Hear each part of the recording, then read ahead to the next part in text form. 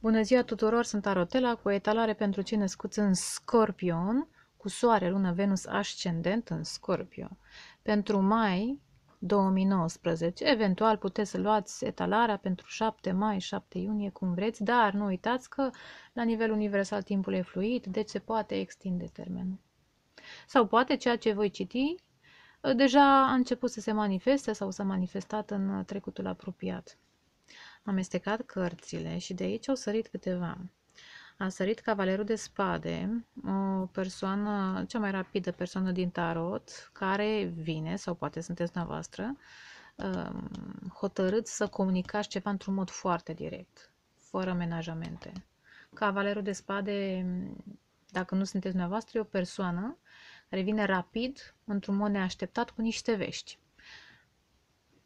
Vom vedea ce fel de vești, pentru că nu-l putem acuza nici de negativitate, nici să ne închipuim că e, eu știu, foarte dulce, pentru că nu e de cupe, e de spade, da? Ideea este că de obicei este sincer. De obicei este sincer. Am mai sărit uh, justiția. Pentru unii dintre voi poate să însemne ceva, niște chestiuni legale.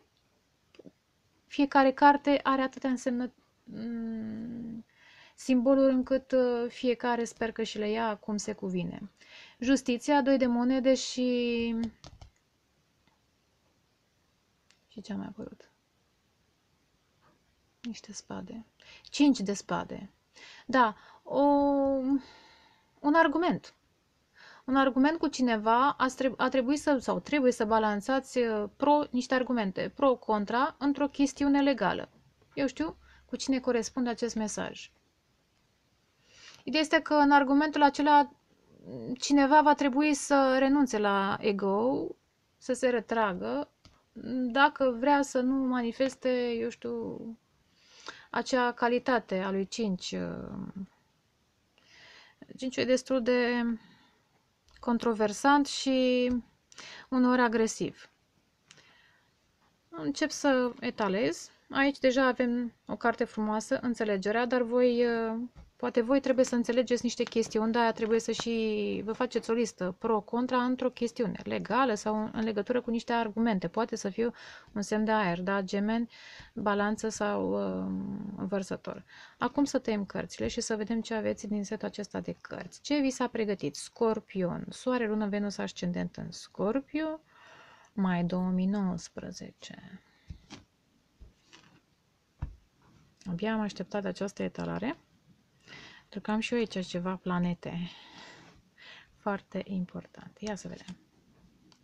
Vocea interioară, superb. Aceasta e similar cu Marea Preoteasă, superb. Superb. Control, uh, semn de aer, similar cu iar spade, similar cu regele de spade. Bucurie, similar cu 3 de cupe și creativitate, similar cu împărăteasa.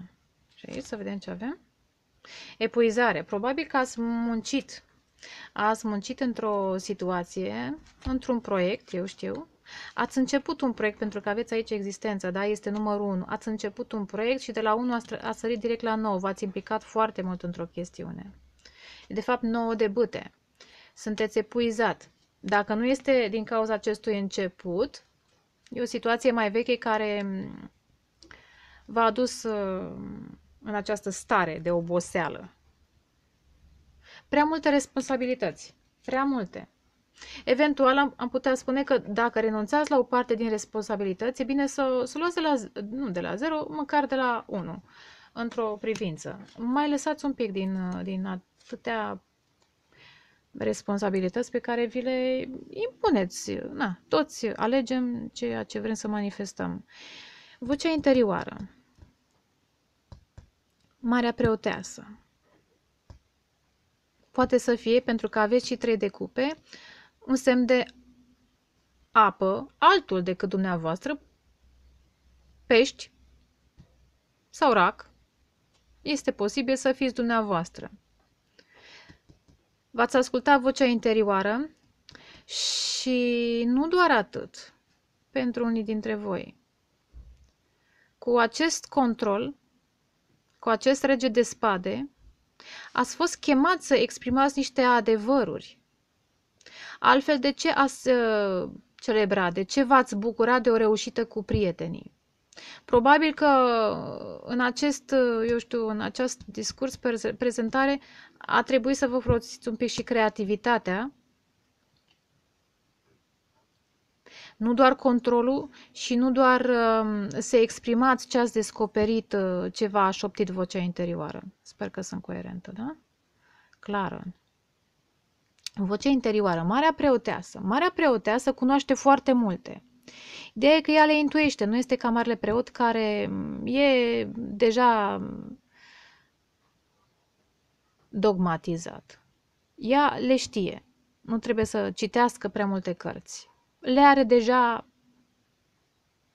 în sinele său superior și se conectează acolo.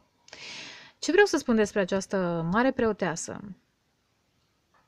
în momentul în care află foarte multe, este chemată să predea. Marea preoteasă poate să fie o persoană care trebuie să împărtășească din cuno- cunoașterea ei. Ajunge la un stadiu în care trebuie să manifeste profesoratul, într-o formă sau alta, sau împărtășirea cunoașterii sale cu ceilalți. De obicei le ține secret. Dar sunt momente când trebuie să împărtășească aceste secrete importante din acest motiv avem și controlul. Le ține în control, le ține în secret, dar controlul fiind și regele de spade, din când în când, trebuie să spună adevărul pe care îl știe. Regele de spade nu spune multe, spune foarte puțin, concret, destul de sec, fără menajamente, cum am spus, a apărut și cavalerul de spade, da? Poate să fie iar avocat, poate să fie doctor, poate să fie Orice, scuzați-mă. Poate să fie orice personaj sau meserie care necesită control, sobrietate și, în primul rând, logică, rațiune. Însă, acestea două împreună vă aduc într-o formă sau alta către bucurie. Și, eventual, pe lângă creativitate, aveți o creștere. O creștere spirituală, o creștere materială, poate primiți niște bani, poate mm, avansați în post. Uh, e împărăteasa. Împărăteasa este uh, poziția absolută la nivel feminin. Împăratul și împărăteasa sunt perechea finală. Bine, sunt foarte diferiți, da. Asta și îi atrage, da, până la urmă. Deci, eu așa simt cărțile care arată a succes într-o direcție.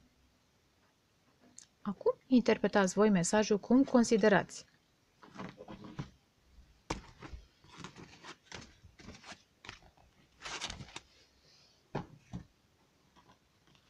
Marea preoteasă poate să fie și astrolog, poate să fie și, eu știu, cititor în cărți, ce mai fi, dar nu e obligatoriu. Nu e obligatoriu. În general, intuiește. Citește chestiuni de genul Gnoza, Enigma templului lui Solomon. în fine. Să mergem mai departe, timpul trece. Încerc o cruce celtică, așa cum am făcut și la celelalte zodii. Scorpion, Soare, Lună, Venus, Ascendent în Scorpion, mai 2019. Ah, și nu mi-am blocat telefonul și sper să nu fiu deranjat, eu știu.